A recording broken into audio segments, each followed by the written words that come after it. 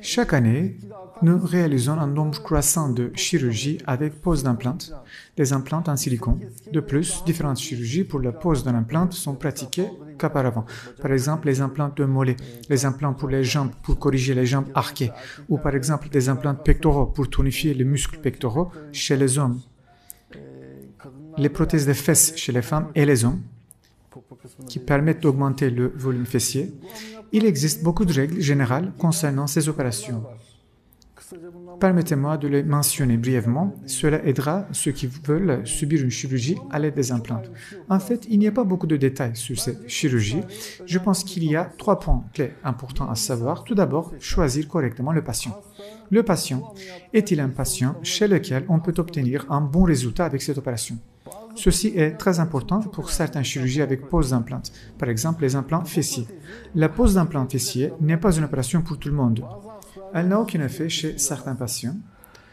D'après ce que j'ai vu, la chirurgie d'augmentation des fesses avec pose d'implant ne donne pas de très bons résultats chez les personnes âgées, les personnes ayant de la cellulite au niveau des hanches et les personnes en surpoids.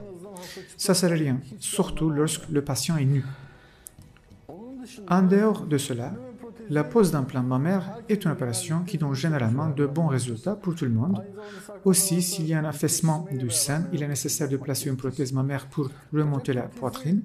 Je vous recommande de se faire placer l'implant de la jambe par un chirurgien expérimenté, car le pose d'implant de la jambe est, à mon avis, la plus difficile de ces opérations.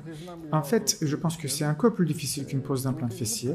Il est nécessaire de placer la prothèse dans le muscle, à l'intérieur du muscle du mollet, et c'est une opération un peu difficile pour un chirurgien qui manque d'expérience.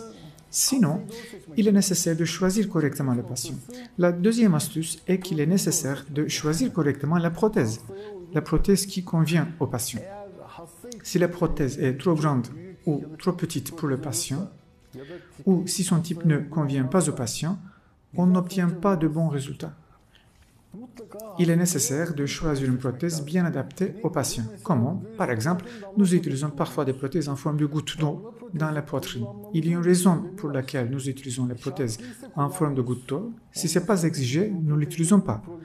Car le problème avec cette prothèse est le risque de rotation. La position de la prothèse en forme de goutte d'eau est comme suit. Sa partie mince devrait être au-dessus et la partie épaisse devrait être au-dessus. Mais à l'intérieur, ça peut s'inverser et la poitrine sera déformée. C'est pourquoi nous ne l'utilisons pas à moins d'y être obligé. À part le bon choix de prothèse, 2. La troisième astuce est de mettre la prothèse au bon endroit. S'il s'agit d'une chirurgie avec pose d'implant dans le muscle, et si la prothèse doit être mise à l'intérieur de ce muscle, alors c'est là qu'il faut la placer. Par exemple, pour l'implant fessier. L'implant fessier ne devrait pas être placé au-dessus du muscle. Si vous le placez sur le muscle, elle est perceptible de l'extérieur. Elle devient touchable. Elle doit être placée à l'intérieur du muscle fessier qui donne aux fesses sa forme ronde. À part ça, par exemple, dans les implants mollets, les prothèses sont placées au-dessus du muscle, sous la graisse et sous la gaine musculaire. Je ne recommande pas, car la prothèse sera nettement perceptible. Je recommande de les mettre à l'intérieur du muscle. En fait, j'ai un instrument chirurgical breveté que j'ai inventé pour les implants mollets. Une entreprise à Istanbul le vend et des chirurgiens plasticiens. C'est un appareil qui a rendu la chirurgie d'implant de mollet très facile. Il y a une vidéo sur YouTube à ce propos. J'ai présenté cela lors d'un congrès de chirurgie, lors d'un congrès de chirurgie plastique. Mon conseil est de le faire avec cet outil. Il facilite à la fois l'opération, il ne provoque aucun saignement et l'opération se termine en 45 minutes, y compris les deux jambes. À part cela, donc euh, qu'est-ce qu'on a dit? Choisir le bon patient, choisir le bon implant et le placer au bon endroit. Si cela est fait, le résultat sera extrêmement satisfaisant si les bons choix sont faits. Les patients seront satisfaits. En fait, le succès de ces opérations dépend principalement sur les prothèses. Il suffit de choisir correctement la prothèse et de la mettre au bon endroit chez le bon patient. Donc, vous n'avez rien d'autre à faire. Après cela, la prothèse fonctionnera comme prévu. Les chirurgies implantaires sont généralement les chirurgies les plus satisfaisantes. Il y a une liste à l'étranger euh, dans le site Was it worth it? C'est-à-dire, cela en valait-il la peine?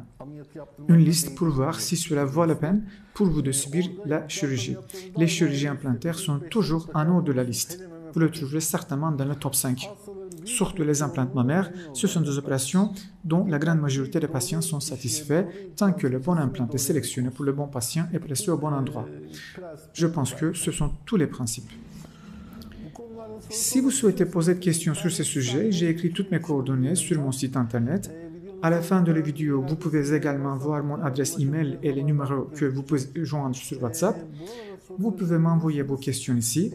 Lors de l'envoi d'une question, si la question que vous posez est liée à votre apparence, assurez-vous de m'envoyer une photo de l'endroit problématique lié à votre question. Si je peux le voir, je peux répondre plus clairement. Et soyez patient, car il y a beaucoup de messages qui arrivent. J'essaie de répondre à toutes vos questions une par une. Parfois, répondre à toutes les questions peut même prendre une semaine. C'est pour ça que je vous demande d'être patient.